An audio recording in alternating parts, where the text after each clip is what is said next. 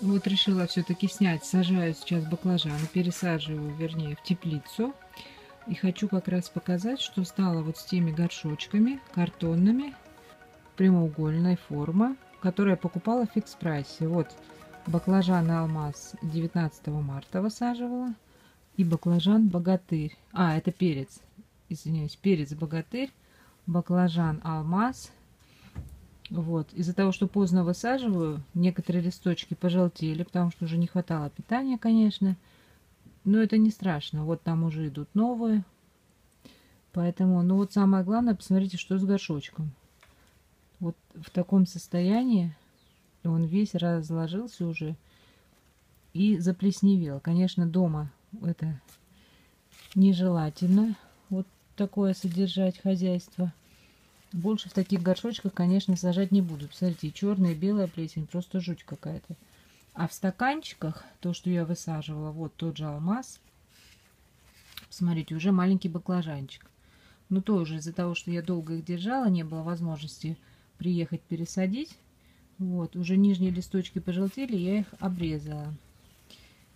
Ну, посмотрю, плод удержится или нет после пересадки. Вот он. Сейчас так холодно, буквально 5 градусов на улице хотя начало июня, вот такая какая-то погода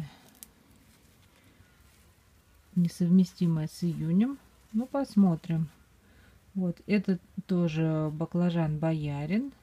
И тоже здесь уже, посмотрите, один плод завязался. Вот. Удалять я их не буду, посмотрю. Если отвалится, то отвалится сами. А вдруг и не отвалится. И вот тоже баклажан боярин, тоже вот еще один такой горшочек – Здесь уже, смотрите, кустик получше. Рослый такой, хороший. Но тоже, посмотрите, что с горшочком.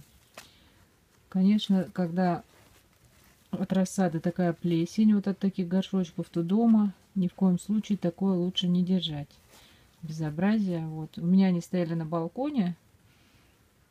И все равно я думаю, что это вредно. Вот дышать вот таким вот воздухом рядом с такой плесенью. Поэтому я сейчас их сниму, даже в них сажать не буду ни в коем случае. Все эти уберу и сожгу. Вот эти страшные картонные горшочки. Вот. А в стаканчиках, хоть тут и почва была меньше, уже там видно, корни просвечивают сквозь пластик. Много-много корней, но ничего страшного. Зато и растения, вот, пожалуйста, вам с плодами. Тут даже два, две завязи, два плодика завязались. Вот. Ну, никакой плесени, все чистенько, аккуратненько. Сейчас сниму стаканчики, тоже посажу. Вот я уже сделала такие ямки. Вот они. Фитоспорином пролила. Притом фитоспорин я использовала вот такой, который он в такой в, корич, в коричневой субстанции находится. Не белый порошок. И вот так он выглядит. Вот он коричневый похож на торф чем-то по цвету. И вот несколько таких вот, он там как бы, ну, такой пастой, но ломается на кусочки. Кусочек кидаю в лейку и просто из шланга водой наполняю. Тут же там все растворяется, никаких проблем нет. Вот, и проливаю лунки, вот под томаты уже пролила. Потом, после того, как посадила, еще раз проливаю этой водичкой. И на всякий случай листочки опрыскала фитоспорином, а, вот уже белым порошком. Он у меня разведен вот здесь. Вот, то есть беру вот так вот опрыскиваю. И огурцы тоже, в общем, все-все-все. Почему? Потому что погода, сами видите, какая. А, сильная влажность, очень холодно. И это все благоприятствует плохим болезням, развитию вот эти вот патогенной микрофлоры. Поэтому приходится все-все-все меры принимать. Вот у меня осталось сколько рассады. Это томаты. Буду ее отдавать родственникам, соседям. Вот. И некоторые кустики даже я посадила по два. Не стала я тогда прищипывать, потому что уж больно такие крепенькие, хорошенькие вышли в торфяных таблеточках росточки. И поэтому я их оставила. Думаю, дай-ка попробую. Вот у меня в этом году первый раз я так оставила по два растения в одну луночку. Ну, посмотрим. Вот здесь тоже, что у меня тут бычье сердце. Вот тот крайний тоже две штучки. Там один побольше, другой поменьше. Здесь гигант Новикова тоже два. Все буду смотреть. будет хуже, значит, в следующем году опять посажу по одному, как раньше. Дальше в конце там перцы посажу, баклажаны. Здесь тоже будут в конце перцы с баклажанами готовиться. Капусту буду высаживать на улицу. Вот уже у меня такая рассада капусты. Тоже она все ждет, когда же я ее наконец высажу. Место ей найду. Так, а вот перцы жгучие, посмотрите, уже они вон какие большие завязались. Вот тоже, видите?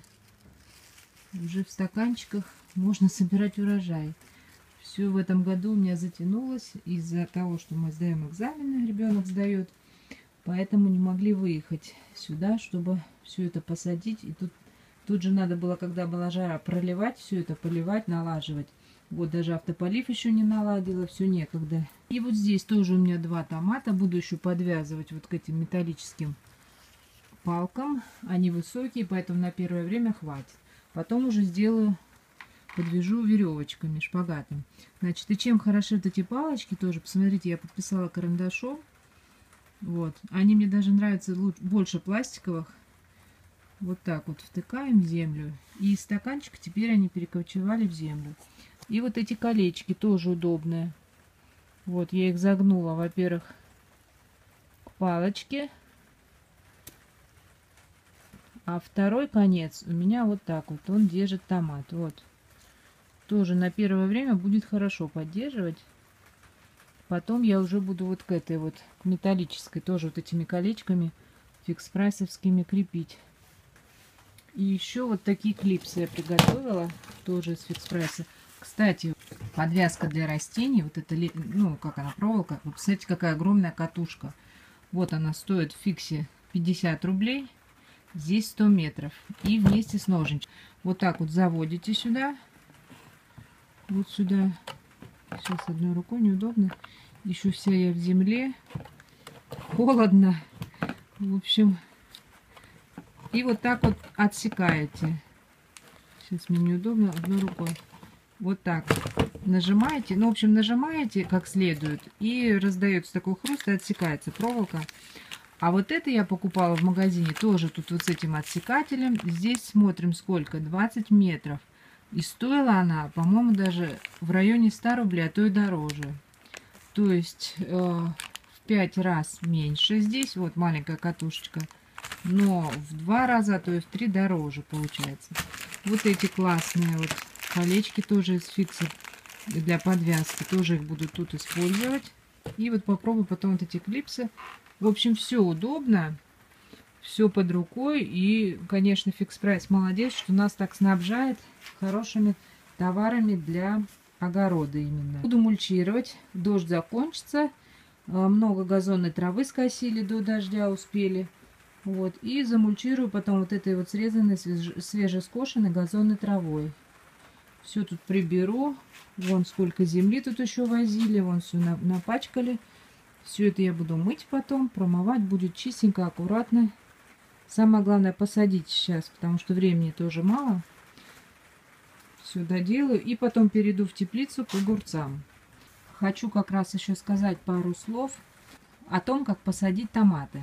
Если вы еще не высадили рассаду свою, если я еще не опоздала со своими советами, значит, смотрите, томаты можно, так же как и огурцы, можно заглублять на такое расстояние, на такую глубину, которая вам нужна. То есть, если у вас переросшая рассада, спокойно вот здесь отрезайте, а, только обязательно ножницами, оставляйте пенечки.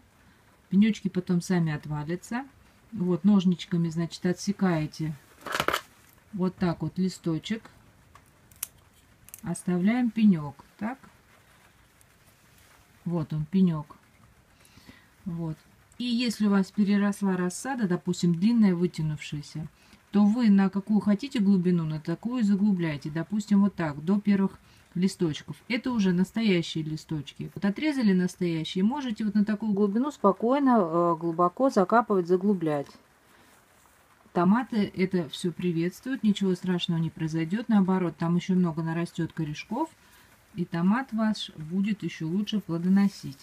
То же самое с огурцами. С огурцами там еще технология. Можно наклонно стебель располагать. присыпать землей. Можно его вокруг, вот так как бы клубочком и уже потом вверх. Это у огурцов. То есть огурцы, томаты совершенно спокойно переносят заглубление, им даже это нравится.